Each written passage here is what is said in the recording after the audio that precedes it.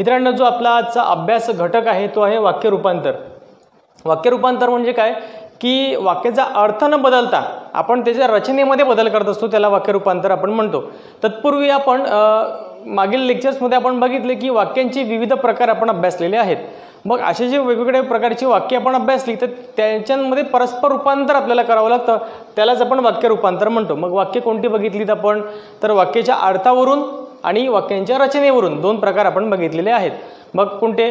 वाक्याच्या र- वाक्याच्या अर्थावरून कोणते? मग आपण त्याचे दोन भाग केलेले मग त्यामध्ये बघा प्रश्नार्थी वाक्य असतील विधानार्थी वाक्य आहेत उद्गारार्थी वाक्य आहे होकारार्थी वाक्य आहे नकारार्थी वाक्य आहे.